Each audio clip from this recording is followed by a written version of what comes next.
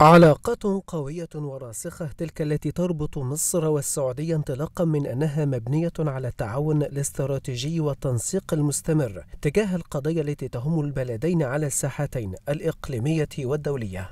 وتنعكس قوة العلاقات بين القاهرة والرياض بتبادل الزيارات بين قادة البلدين بشكل دوري فضلا عن الزيارات ذات الطابع العسكري والأمني والاقتصادي. وهي زيارات تهدف في المقام الأول لتبادل الآراء وتنسيق المواقف المشتركة وهو ما ساهم في الوصول بالعلاقات الثنائية بين البلدين إلى مرحلة الشراكة.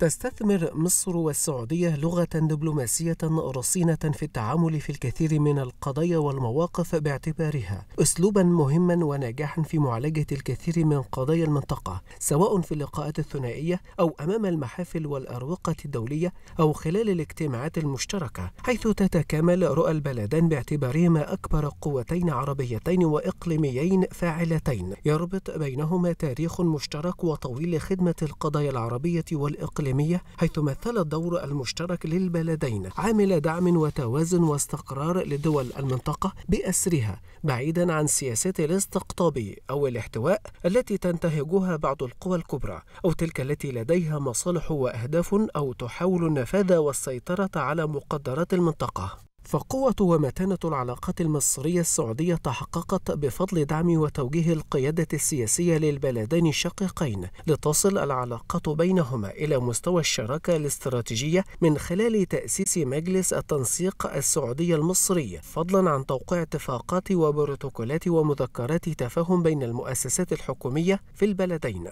هي إذا علاقة تاريخية وشراكة استراتيجية مميزة تربط البلدين الشقيقين منذ سنوات طويلة ولم تقف عند هذا الحد ولكنها ما زالت تتطور وتزدهر.